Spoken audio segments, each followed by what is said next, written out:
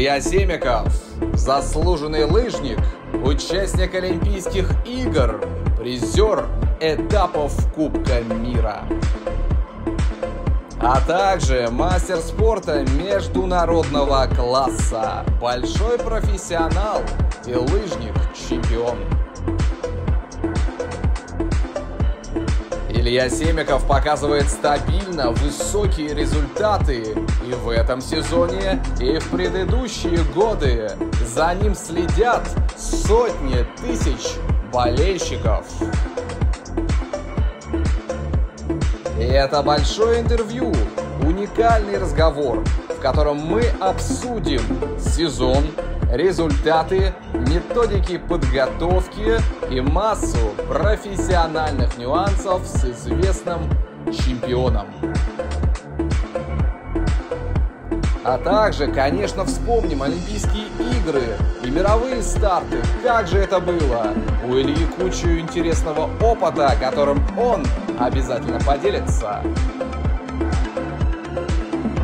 Большой разговор содержательная беседа с известным профессионалом.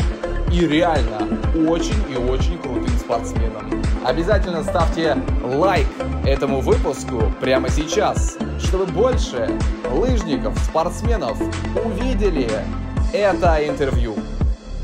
Ставьте лайк. Скиньте ссылку друзьям, пускай они тоже присоединяются к нашему разговору.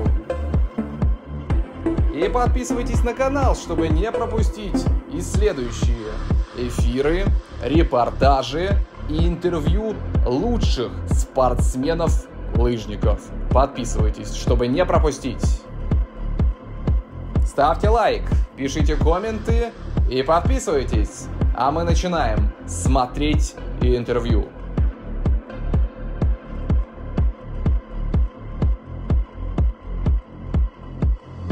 Всем спортивный привет! Я в гостях в комнате у известного лыжника, мастера спорта международного класса, участника Олимпиады и вообще звезды российских мировых лыж Илья Семиков впустил меня а, к себе в комнату. Илья, привет! Расскажи, как твои дела? Всем привет! Все отлично. Э, бежим сейчас Кубок России. Настроение отлично, все прекрасно.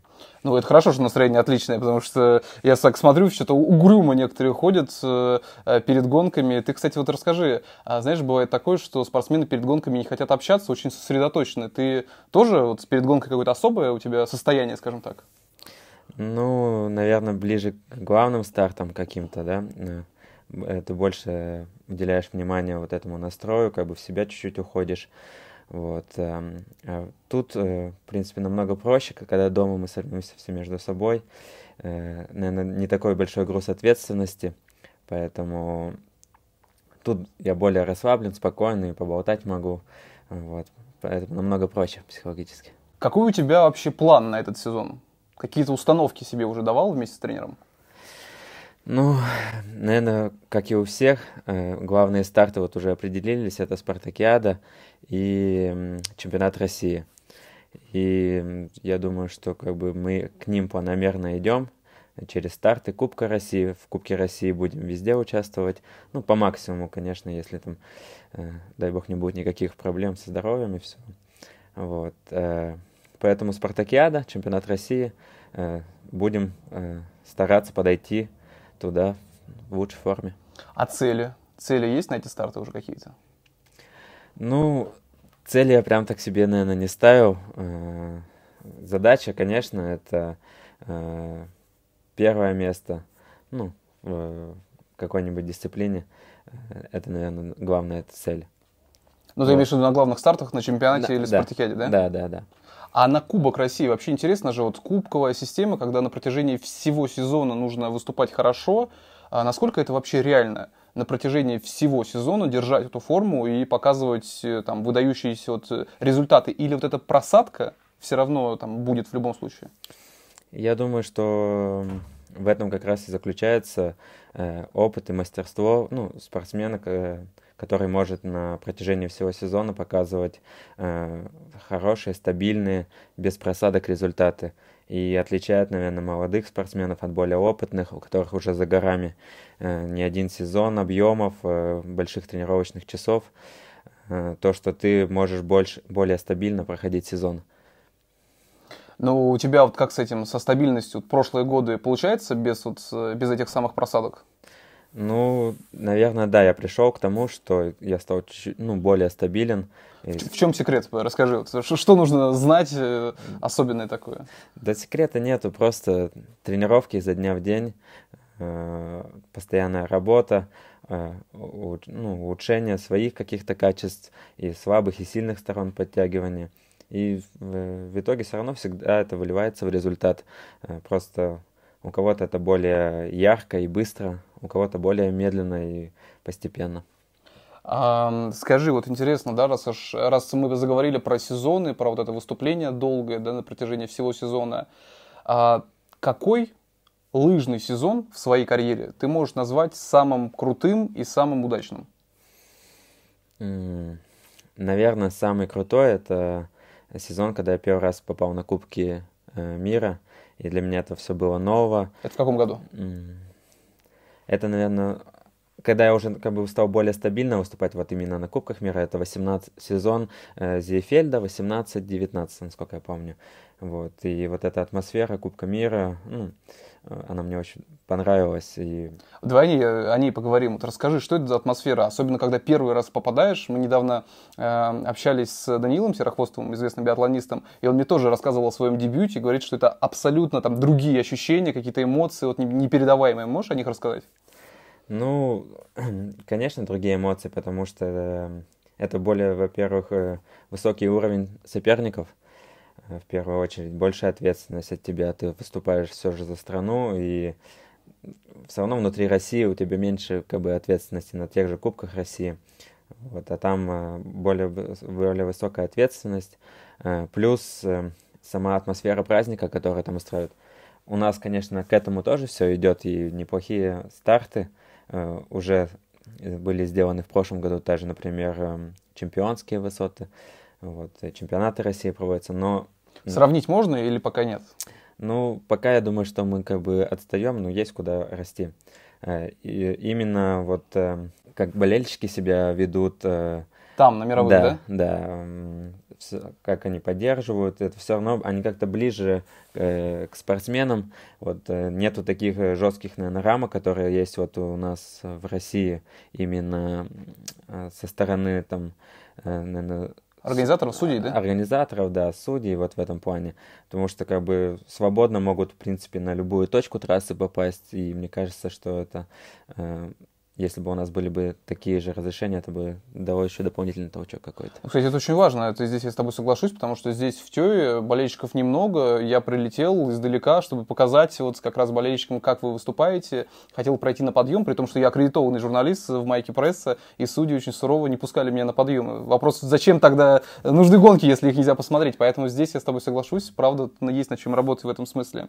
Скажи, а вот мы вспоминаем самые такие яркие твои эмоции, да, самый удачный сезон, и ты говоришь прежде всего о дебюте на Кубке мира.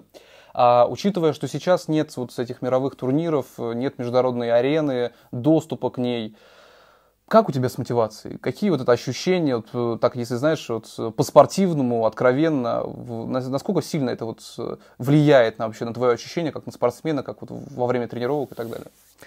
Ну, в прошлом сезоне э, проблем с мотивацией вообще не было. Были, наоборот, э, мотивация была еще сильнее, потому что прошел олимпийский сезон, и как бы с мотивацией я вообще никаких проблем не испытывал. А в этом, наверное, летом какие-то были зачатки того, что потеря мотивации. Но вот пришли первые старты, вот э, летний чемпионат России, как говорится, дали там по ушам мне, и, ну, я все сразу взбодрился. Тон, тонус появился, да? Да, тонус появился, взбодрился, и сейчас, в принципе, вхожу в отличном настроении в сезон, и да, даже получаю удовольствие, можно сказать, это, ну, от гонок. Э, ну, так звучит, даже получаю удовольствие. Не всегда получается его питать. Ну, иногда бывает э, такое, что э, результаты, когда тебя не удовлетворяют, немного бывает что и настроение с этим э, ухудшается, и какая-то такая депрессия появляется. Особенно тяжелые месяцы, вот это ноябрь, декабрь, это когда вот э, темно на улице, э, холода, и ну, бывает тяжеловато в этом плане. А мне казалось, осень это еще более суровый период или нет? Ну, осень тоже, да. Поэтому стараемся осенью куда-то выехать, хоть там в Сочи, например, на э, Красную Поляну, вот, где хотя бы побольше солнышка чуть-чуть, э, витамина D получить что вот эту, вот как у нас в Сыктывкаре, например, вот, вот, дожди постоянные, э, серость, чтобы ее хотя бы как-то... Разбавить, да? да не, разбавить. Не, не, не, не, не в полной мере, да, вкусить. Скажи, э, Илья, я хотел еще вот с, по поводу уровня спортсменов поговорить. А, потому что, знаешь, когда вот эти все недопуски и отстранения а, вот, случились, многие обсуждали, была дискуссия по поводу того, что, возможно, уровень спортсменов наших российских будет постепенно падать, потому что конкуренция только среди своих и так далее. Прошло уже полтора года. Вот как с этим сейчас? Конкуренция упала, вот уровень спортсменов падает или не падает, может быть, растет? Вот по себе как ты скажешь? Ну, я думаю, что э, уровень точно не упадет, наверное, потому что э, все же в России хорошая конкуренция, плюс молодежь не дает расслабляться, всегда появляются новые имена, подстегивают. Я думаю, что ну, у нас точно, в принципе, ну, проблем с, с уровнем, ну, западения уровня не будет. Другой вопрос то, что чуть-чуть, может, надо будет адаптироваться потом к этим трассам, э, к этим скоростям. Э, немного у нас все равно э, другой рельеф трасс. Ну и снег, говорят, что да, не такой быстрый. Ну, снег, да, не, не, не совсем такой быстрый, как там. Ну, в принципе, вот весной тот же чемпионат России мы уже проводим ну, на приближенном снегу. Мне интересно, как и ты к этому сезону подошел? Насколько у тебя успешно получилось а, пройти подготовительный сезон, подготовительный период? А, расскажи, как все прошло, были ли какие-то сбои или все нормально? Ну, э, подготовились, э, в принципе, неплохо к этому сезону. Сбоев, наверное, э, было не так много, как, например, там у некоторых ребят и групп, поэтому, принципе, к сезону я готов неплохо. Другой вопрос, то, что мы специально, например, не форсировались к этим первым стартам и довольно Э, поздно, например, скинули э, тренировочный объем и э, именно силовую подготовку. Поэтому, возможно, может, первые старты будут не так ярко проходить, как нам хотелось бы, но э, рассчитываем, что будем разгоняться с каждым стартом и вот выйдем на пиковые показатели именно вот к февраль, февраль-март. О подготовке еще интересно, вот поделись, да, как спортсмен, какой месяц подготовки у лыжника самый жесткий? Наверное, это, ну, вот лично по себе, я вот сужу, это, наверное, июнь, когда ты э, начинаешь, ну, работу втягивающую, и июнь, очень большие блоки у нас силовой работы, почти что э, и утром, и вечером, и, ну, ежедневная силовая работа, плюс э, сверху еще много аэробной работы, э, мало тех же интервальных работ, скоростных, и поэтому получается ежедневные большие объемы тренировочных часов, вот, и такая монотонная, тяжелая, мышцы уже силовыми прилично нагружены, и вот, наверное, вот июнь, начало июля, это вот такой самый тяжелый период именно для лыжника. Скажи, а вот в таком случае интересно, а ты можешь вспомнить какую-то самую адски тяжелую тренировку вот за этот э, подготовительный сезон, который прошел? Ну, у нас эм, у Олега Резча есть такая тренировка, где мы включаем вставки с жилетом. Наверное, вот э, видели там у Юрия Викторовича есть такие. Вот. И Силовые, да? Да, и у нас тоже такая есть на роллерах. Она там занимает порядка три с половиной часа.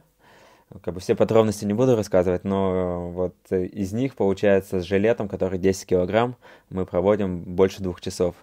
И это прилично тренировка утомляет, и бывает там один-два дня на восстановление тебе просто даже недостаточно после нее. Это вот как раз летом, да, все проходит? Да, да, это вот летом. А, все ясно. Интересно, знаешь, все всегда вот спрашивают, особенно юные лыжники, там, молодые спортсмены, всегда интересно объемы. А какие же объемы у самых крутых чемпионов? Ты можешь поделиться, какой самый большой объем недельный у тебя был там в часах или в километрах э, за этот подготовительный период? Ну, примерно, если так смотреть цифры, наверное, в часах это где-то за неделю 33 часа. Это, наверное, пиковые показатели, а в среднем мы тренируемся наверное, 27-30 часов, вот так, э, в этом, в этом диапазоне. А в километрах, наверное, даже не припомню. Как бы в основном мы ориентируемся сейчас больше по часам. Потому... Не считаешь, да, километры? Нет, километры считаю, просто как-то вот не, сейчас вот не смогу на скидку вспомнить, сколько даже. Э, не акцентирую на этом внимание. Вот э, именно больше ориентир по часам. А интересно, кстати, знаешь, вот э, у всех же разный учет идет, такие там проделанные работы, кто-то ведет дневники такие вот, как тетрадки, как э, давно-давно там было в тренде, скажем так, кто-то вот все это на телефонах. Как, как ты э, сохраняешь данные о тренировках, как ты передаешь их тренеру, вот у вас как это устроено? Ну, у меня электронный дневник есть, куда часы скидываю все. И плюс э, еще в ручном режиме веду. Конечно, было в начале, наверное, моей моей как бы эм, професси... ну, карьеры, профессиональная ошибка, то, что я с детства его не вел. Э, и сейчас бы вот бы интересно было все проанализировать. И вот буквально недавно только, ну, пару сезонов начал вести уже в ручном режиме тоже дневник. А почему ошибка? Вот расскажи. Я думаю, что для молодых это особенно интересно.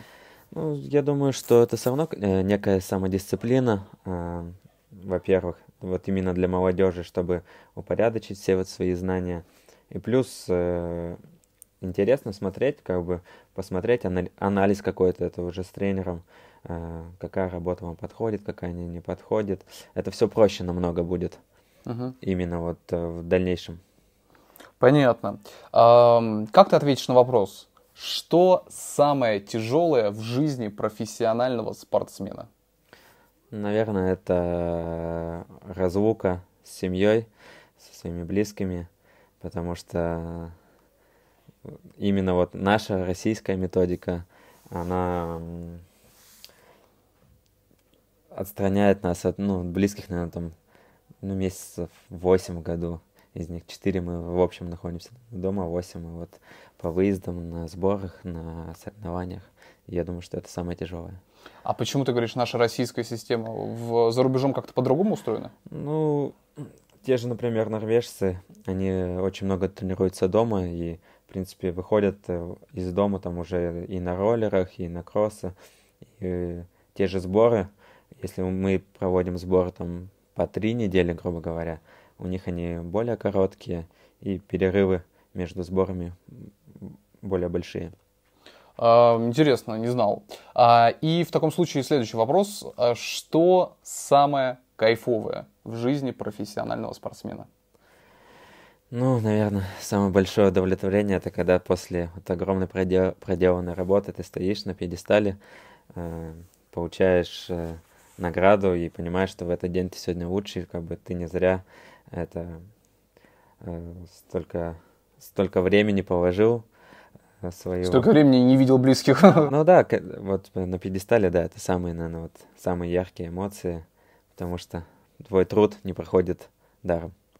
И у меня такой вопрос, если я его часто задаю спортсменам, ты, возможно, частично на него ответил, но я еще раз его задам, вдруг что-то вспомнится э, еще. Самый яркий момент в карьере, это вот все-таки дебют на Кубке мира или что-то другое? Вот, наверное, так сразу сказать довольно сложно, какой яркий. Их, в принципе, было очень много. Основном, наверное, это связано вот э, с хорошими гонками, какие-то воспоминания. Вот. Э, Олимпийские игры, наверное, тоже довольно такой яркий период. Э, конечно, там что-то не получилось, но все равно в памяти все это остается. И вот именно сам процесс подготовки к ним, само нахождение вот на Олимпиаде и выступление, вот это довольно яркое такое событие. Э, раз уж Олимпиаде, об Олимпиаде ты заговорил, насколько ты доволен тем, как она сложилась для тебя?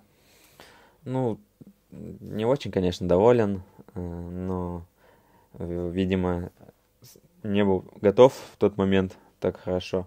Ну и плюс какие-то, может, еще факторы сложились. Все же там была большая высота, и все индивидуально переносится, все переносится индивидуально. Грубо говоря, за неделю до стартов я вообще себя прекрасно чувствовал. Вот, и немного стало ухудшаться гонком состояние. Не очень, конечно, понятна причина, почему. Вот. Но надеюсь, что еще будет шанс выступить. А, э, про Олимпиаду интересно, вот я думаю, точнее не интересно, а я вот тебя прошу напомнить нашим зрителям, потому что прошло уже два года, может быть кто-то там упустил или уже подзабыл. А в каких гонках ты бежал и какая лучшая для тебя вот была на этой Олимпиаде? Я бежал, получается, классическую разделку, пятнашку, и девятое место там занял. Одну а, гонку. А я интересно рассчитывал на какой вот, каким был ты доволен, на что ты вот, планы какие строил? Ну, в призы попасть? Да, хотелось. И, в принципе, по состоянию я, наверное, был в хорошем состоянии, близок, э, чтобы побороться. Но как-то не сложилось, не, не, не доработал где-то. После игр ты был расстроен или все-таки вот получилось кайфануть? Э, ну, был какой-то период, ну, время, когда расстроился, но, в принципе, потом все это, э, как сказать, отложил э, дальний ящик, все забыл, и, ну, уже новые старты, новые эмоции, и заново начал э, дальше продолжать работать, как бы не оглядываясь назад. Многие ребята, наши лыжники, на этой Олимпиаде стали призерами. Там фантастическая, на самом деле, успешная очень Олимпиада получилась для российских лыж. На их триумфы с какими ощущениями ты глядел, смотрел, наблюдал? Не, очень рад, конечно, за ребят, ну, потому что действительно очень сильная команда собралась э, за последнее время, и там э, все достойны своих медалей. И... Ну, зависти не было?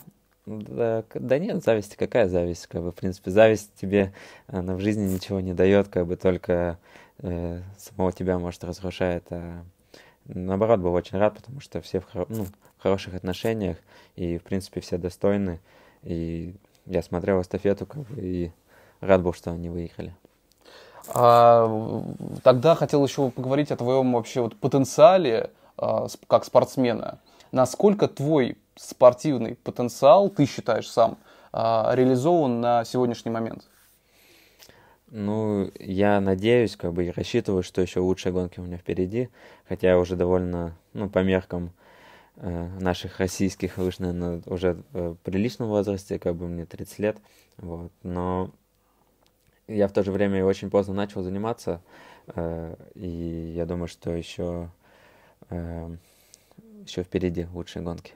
А вот, да, если ты говоришь, что, что впереди гонки а, лучшие, то на данный момент, вот на данный период, на сегодняшний момент, что пока вот не дает да, достичь пика? Почему так вот? Или это просто нормально, что ты вот столько лет должен дойти до этой там главной гонки своей жизни? Ну, все же индивидуально. Э, кто-то более талантлив, кто-то кого-то больше одарила природа, у кого-то более лучшие мысли. У каждого, как говорится, свой путь. И для кого-то э, медаль, там одна медаль там с чемпионата мира и Олимпийские игры, это будет как бы его предел, а для кого-то там и 10 медалей, ну, uh-huh. будет не потолком. Поэтому тут у каждого свой путь, и я как бы иду э, по нему, рассчитываю на э, побороться еще за медали, э, мировых первенств и Олимпиады. Но я имею в виду на данный момент, Илья, вот э, интересно просто, как ты вот, это, ты же наверняка это анализируешь, думаешь об этом вместе с тренером. Почему сейчас вот э, пока что ты не достиг пика, скажем так, да, вот? Ну, в принципе, вот в прошлом году э, у меня были неплохие результаты. Потихонечку расту. Я вот не знаю, как этот год сложится, но пока э, все годы до этого был... Э, Прогресс, да? Постепенный, да, прирост результатов не было. Были, был, конечно, там, там 24-25 лет какой-то определенный регресс, но там э, тоже факторы были, э, которые должны были ну, произойти. Вот, а После этого сезон за сезоном, как постепенный прогресс, и я рассчитываю, что и в этом году будут ну, результаты лучше, чем в прошлом. А, я предлагаю тебе передать привет болельщикам, потому что очень много людей, на самом деле, смотрят за вами и с большим удовольствием наблюдают каждую вот эту деталь, разминку, заминку, гонку. И, правда, лыжи очень любят в нашей стране. Скажи, болельщики, их э, присутствие на трибунах во время соревнований, насколько для тебя, как для спортсмена, это важно? Да, это очень важно на самом деле. И э, хочу обратиться, приходите все, поддерживайте нас, э, потому что это действительно важно, это э, сильно поднимает дух спортивный и бодрит, ну и атмосфера совсем другая становится. Поэтому э, смотрите, болейте за лыжами. Всем огромный привет, особенно болельщикам из Республики Коми. Их большое количество, они нас сильно поддерживают. Лыжи вообще в Коми очень любят. Да, это у нас э, традиционный номер один вид спорта. А, я видел э, там несколько раз, как у тебя берут автографы, как просят э, а, сфотографироваться с известным лыжником. Вот эти моменты, как ты их воспринимаешь? Какие эмоции в этот момент у тебя, когда к тебе подходят и просят об автографе или об общей фотографии? Ну, это, во-первых, приятно, как бы, что, что тебя узнают, что поддерживают и, в принципе, ценят твой труд. Так что нам, как спортсменам, это очень приятно. И мы стараемся не отказывать никому и фотографии, там, и автограф поставить. А неприятные моменты какие-то были связаны с болельщиками? Так, ну, Люди же очень разные. Ну, неприятных э, именно со мной, наверное, так и не было. Вот я мне вот помнится, что мы когда-то бежали в Норвегии в этом Холминхоллинский марафон. И там, в принципе, очень много болельщиков, и они не всегда э, в трезвом виде приходят, как бы, ну, ну, у них такая культура боления, видимо. Они, они там... может, и приходят в трезвом, но да. в процессе, да, уже? Да, они как приходят, как на пикник, грубо говоря, и э, в процессе уже доходит до стадии такой, то, что мы бежали, и э, один болельщик Андрюхи Варькову, просто бежит вот, вот рядом с ним, где-то буквально полметра, и что-то ему кричит, кричит, кричит, Андрюха от него отмахнулся, и тот ему просто, э, ну, пьем его поливает, ну, просто какая-то жесть. Это прямо во время гонки? Да, во время гонки, вот во время пау паутинника. Охренеть. Да. У тебя берут автографы, а ты когда-нибудь брал у кого-нибудь автограф? Я брал, когда был молодым спортсменом. У меня есть автографы и Василия Рочева, и Александра Легкова. Э, вот. Так что, наверное, их автографы вот у меня есть. А то у тебя был какой-то кумир? Там, или ориентир вот спортивный? Не, ну, когда мы были молодые, мы смотрели, у нас показывали и биатлон, и лыжные гонки, там болели. Конечно, наверное, там Легков, наверное, был тогда кумиром у всех, и как бы все за него болели, потому что ну, довольно такая яркая карьера, и которая притягивает к себе вот болельщиков.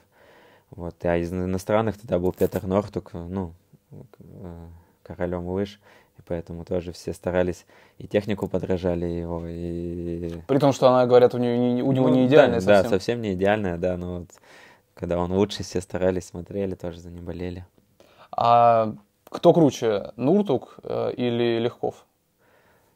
Э, ну, для меня, наверное, тяжело так выделить, как бы, да. По медалям, конечно, Норток, но вот по там эмоциям, которые, да, вот э, паутинник Сочи, ну, Легков э, э, явно, как бы, лучше Нортока.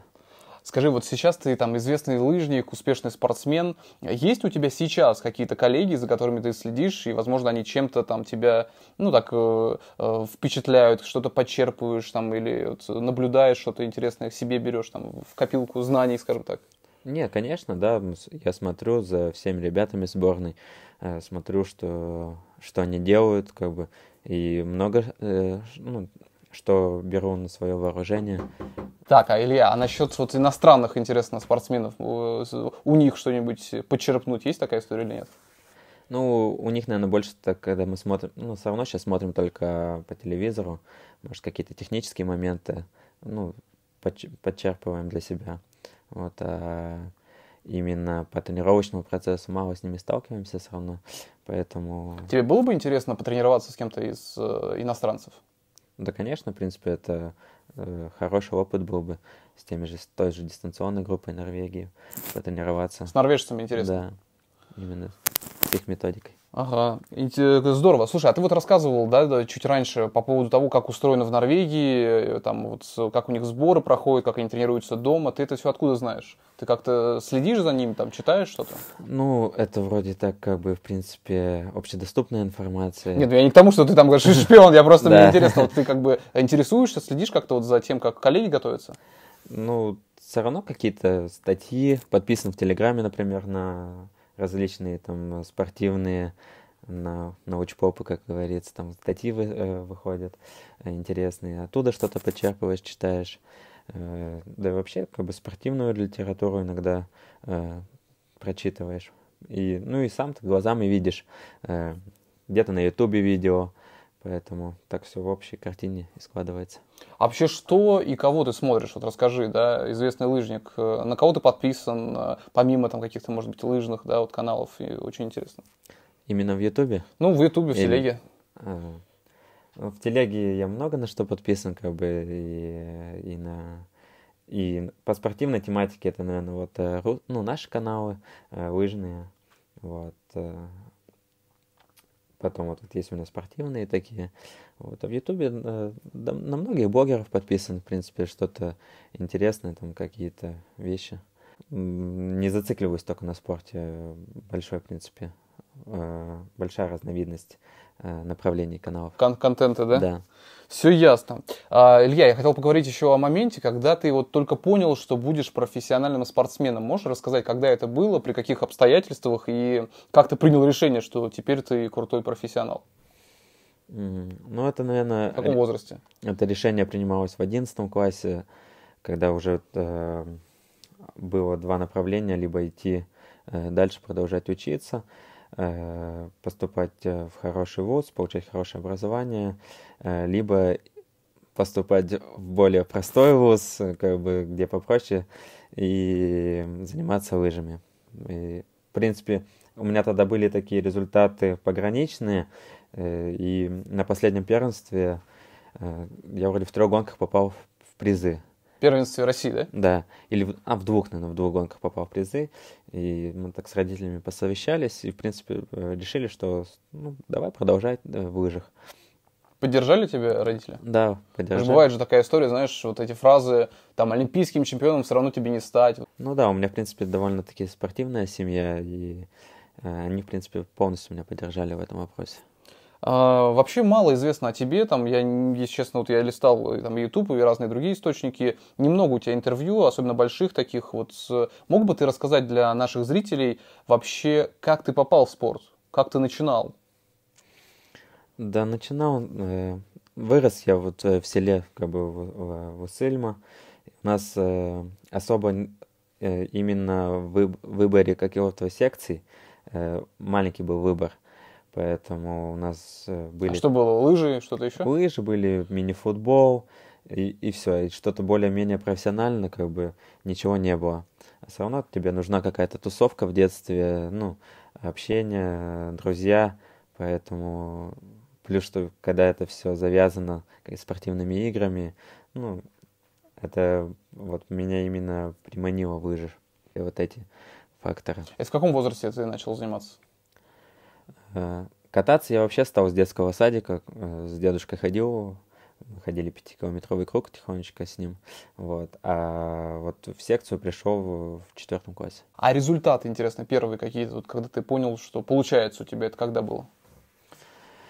Ну, если смотря какие результаты, как бы вот на российском уровне, наверное, вот пришли вот, ну, довольно поздно, вот именно где-то 10 11 класс. На уровне вот там региона? На уровне региона, вот, наверное, там э, средний, средний юноши. Довольно, в принципе, поздно вот у меня все результаты приходили. Поэтому и я до последнего как бы занимался учебой много, и у меня вот это и была неопределенность. Какой у тебя любимый предмет был в школе? Ну, я люблю больше математические все э, предметы, и э, меня больше тянет к этому. К точным, да, наукам? К точным наукам, да. А, понятно. Расскажи, Илья, вот э, виды спорта, помимо лыжных гонок, за какими еще видами спорта ты наблюдаешь? И, наблю... Э, и наблюдаешь ли? Ну, сейчас как-то вот, когда семья, сейчас есть ребенок, и очень мало вообще времени остается на за кем-то следить, кроме лыж. Чуть-чуть бывает биатлоном, ну, прослеживаю, вот, а так, наверное, никак, ну, больше никаким видом спорта. Раньше любил футбол, увлекался им и прям смотрел там все матчи там от начала на от премьер-лиги до Лиги Чемпионов. За кого болеешь? Ну, сейчас вообще уже ни за кого. Болел за «Зенит». Вот, и... Я тоже. Да? Вот. А сейчас вообще просто даже ничего не смотрю, там даже финал Лиги Чемпионов. Ну, ты знаешь, кто тренирует «Зенит»? Ну да, Сергей Симак. Ну все, значит, значит ты в, в, в теме, это уже достаточный уровень, чтобы сказать, что да. ты болельщик. А скажи, а вот э, лыжные гонки, ты смотришь э, Кубок мира или нет? Э, смотрю какие-то яркие гонки, смотрю, э, особенно которые мне, например, нравятся по именно по показу. Вот мне всегда нравятся гонки в, в Кусама в руки, вот открытие, как норвежцы показывают гонки. Бывают какие-то, например, там скандинав... О, европейские этапы, я вот ну, не просматриваю даже. Особенно вот разделки бывает, не скучно показывают и ну, не смотрю. Ну, плюс смотрю чемпионаты мира. Вот планицу, в принципе, посмотрел все мужские гонки, просмотрел. А вот из прошедшего сезона ты можешь выделить какие-то гонки, которые, может быть, тебя впечатлили, вот мировые? мировые? Да, наверное, их не так много, наверное, гонки, где там клуба смогли обыграть. Ну, э, именно в спринтах понравились. Вот. Понрав... А тебе спринты интересно смотреть? Да, да, интересно. Учитывая, что это не твоя профильная дисциплина, все равно интересно, да? Ну, да, э, конечно, там высокие скорости и борьба интересная. Вот. И интересен был э, скиатлон в Планец. Понравился тоже, когда вот э, Крюгер с Рёте вот э, на коньковой части начали атаковать вначале, и как Веба, ну, пытался за ним удержаться. Ну, тоже очень интересно. Ага, круто. Слушай, а скажи, а вот насколько ты считаешь важным вообще вот смотреть сейчас российским спортсменам э, за тем, как э, проходят мировые соревнования? Насколько это важно? Потому что есть же вот нюансы, что-то меняется все равно, да, из года в год. Или это не так э, существенно все? Да я думаю, тут уже дело каждого и выбор каждого, смотреть, не смотреть, как бы. Кому... Ну, с профессиональной точки зрения, я имею в виду. Ну, с профессиональной, э, в принципе, что-то можно, если ты ну, что-то подчеркиваешь из этого, может, какие-то новые, там, не знаю, технические, может, э, навыки или какие-то тактические, тогда, в принципе, можно смотреть. Ну и просто для интереса, в принципе, мы э, занимаемся лыжами, это, ну, нам интересно в первую очередь. Я, в первую очередь, из-за интереса тоже это смотрю.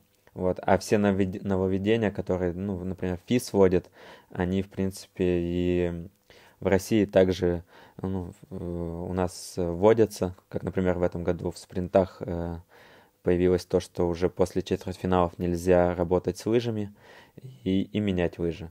И вот и это уже вот э, буквально на Кубке Хакасии уже ну, были введены эти правила. Но никто там как-то, знаешь, это, в, в серую, там, в темную никак нет, не подшаманивает лыжи? Да нет, все как бы все в рамках правил, все работает. Если говорить про другие виды спорта, ты, ты мог бы где-то еще себя проявить э, столь вот ярко и стать хорошим спортсменом, как думаешь, какие вот виды спорта могли бы тебе подойти? Mm. Ну, это довольно сложный вопрос. Но думаю, в легкой атлетике как бы мне неплохо, наверное, получилось, потому что она не так тяжело дается. Вот. А в остальных, наверное, тяжело, ну, сказать. Ты следишь за кем-то из легкоатлетов? Да, тоже как бы только тоже, поверхностно, тоже нет, да? да. Вот как-то вообще сейчас выпадаю из повестки вот этой все спортивной. А ты сильный спортсмен. И в чем главные, может быть, три, давай назовем, три главных твоих сильных качества? Как спортсмена? Да, я тоже так, наверное, такой тяжелый довольно вопрос. И... Не скромно, да, хвалить Да, тяжело как бы так, такое сказать. Но я думаю, то, что выносливость может быть, э, плюс э, техническое какое-то, именно в коньке, конечно, я технически, ну, довольно слаб, вот, а именно в классике за счет техники э, получается хорошо выступать. И давай третье что-нибудь найдем все-таки. Э, ну, тре третья, наверное, это... Сильная сторона. Тактика. Именно на мастартах. Ага, ну это как раз, наверное, и, да, вот твое внимательное отношение к гонкам, просмотрам, ну, это, возможно, тоже, да, помогает? Ну, может быть, да, все как-то вместе складывается э, в, общий, в общий итог. А в таком случае три главных слабые твоей стороны. Назови, пожалуйста. Э, слабое, наверное, это коньковый стиль. Э, и именно, наверное, вот взрывная там сила ног, вот, вот это для конькового хода. Это, наверное, одно из самых слабых. Третий тяжело сказать. В таком случае, вот я хотел о твоем успехе поговорить как лыжника, да, и вообще, в принципе, обсудить, э, что нужно спортсмену, человеку, чтобы стать э, топовым, да, атлетом. Какие качества, вот какие составляющие этого успеха ты можешь выделить? Ну, об успехе, наверное, так ну, громко сказано, как бы сейчас оно э, крупных побед таких, ну, мне, наверное, еще не, не избалован я. Вот. Нет, ну слушай, Илья, ну ты мастер спорта международного класса, ты участник Олимпиады, причем девятое место, девятый в мире, это же очень круто. Ну, не, да, согласен. Ну, как бы просто я так себя позиционирую. Вот. Ты просто а, хотел подчеркнуть, что ты скромный парень, да? Да, да, да. Вот. А, э, наверное, самое главное это вера в себя, э, как бы верить, во-первых, и плюс э, постоянная работа, ежедневное трудолюбие, все это окупается, и она попросту никогда э, не проходит зря. Поэтому всегда это все выливается в результат. Может быть, не в этом сезоне, но через два, через три все это окупится. И финальные два вопроса, которые я задаю всем спортсменам, э, с которыми общаюсь. Какая у тебя главная спортивная цель была, когда ты только пришел в спорт? А, была вот стать олимпийским чемпионом. А, ну и в таком случае финальный вопрос. Какая у тебя главная спортивная цель прямо сейчас? Ну, она не изменилась, в принципе, с детства. Илья, супер, спасибо тебе большое за этот разговор. Э, я, во-первых, желаю тебе все-таки стать олимпийским чемпионом. Я очень надеюсь, что вот очень переживаю за вас, за лыжников, за наших спортсменов, потому что, конечно, я понимаю, что вот это такое давление, когда нет возможности выступать на международных аренах, да, и соревнованиях, это, конечно, вся такая серьезная, тяжелая история. Поэтому я желаю, чтобы поскорее вы вернулись сражались с лучшими спортсменами. И пускай, правда, результаты твои только растут. И э, надеюсь, что мы встретимся э, совсем скоро после того, как ты станешь олимпийским чемпионом. И поговорим, каково же это. Вот, спасибо тебе за интервью. Спасибо. Если вам понравилось это интервью, ставьте лайк, пишите комментарии и подписывайтесь на канал, чтобы не пропустить следующие выпуски с лучшими спортсменами и лыжниками. Будет э, еще очень много интересного. Всех главные звезды лыжного спорта на моем канале. Следите, подписывайтесь, не пропускайте. Увидимся. Всего вам доброго. Пока.